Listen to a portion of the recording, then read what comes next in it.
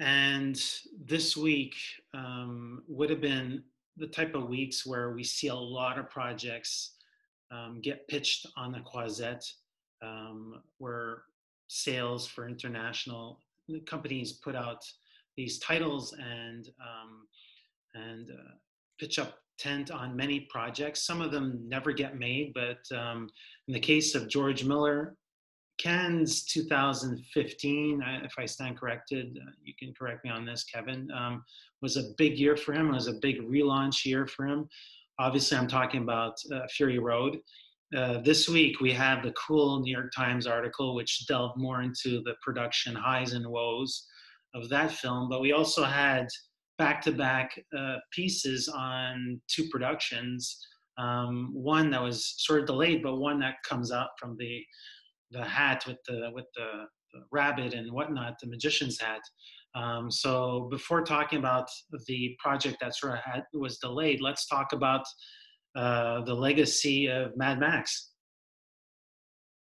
Sure. I mean, um, it was like a bolt of lightning. I think as what's remarkable, what's remarkable about the New York Times piece is I think everyone knew at the time how difficult that production was but uh, the New York Times piece really, I mean, one of the revelations for me is that George Miller essentially went into edit- editing without the beginning or end of the film.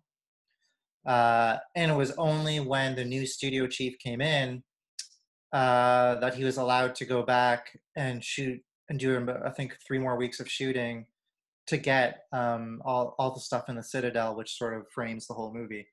So it, it, it, sort of reinforces what a little bit of a miracle that movie is um, in terms of studio blockbusters. It's something special and unique that has a real message, but also is just still a phenomenal piece of just visceral filmmaking. It's there's really nothing else like it. So yeah, so on that he's able to get that confidence to then return to this world get the money that he needs to make uh, I don't want to say a smaller version, but more uh, more pronounced character study on the character that uh, Charlize Theron had played.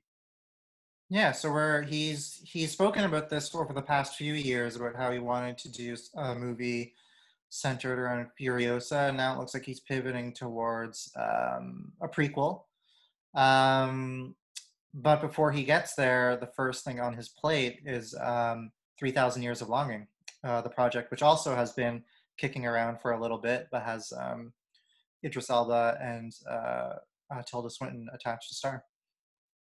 So yeah, so that project um, will begin shooting potentially fairly soon in Australia, where the conditions are somewhat more favorable to, I guess, social distancing and, and, and being on a, a, perhaps a smaller set. I'm not sure what the scope is for this, um, but the production will take place there, and it's supposedly supposed to go to London and Istanbul. So we'll see how that pans out. It's not obvious for to have a production go from one country to another, let alone one continent, continent to another. Um, but yeah, not much is known about this, but MGM is uh, willing to throw in what, what could be some considerable money. Yeah, it'll be again. He George Miller has been playing it pretty cagey about what the film is. He wants to sort of want audiences to experience it fresh. Um, but around the time of Fury Road, um, when that film was out and he was doing press, he mentioned a couple things which might inform this film. One is that he said he wanted to make a film that was contemporary in setting and had a smaller scale that wasn't as involved uh, as something on the scale of Fury Road. And another thing he said was that he really admired Tangerine, actually, the film um, by Sean Baker.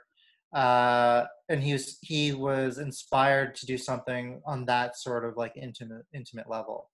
So it'll be interesting to see if five years on, um, that's still the, the mindset he has for this film.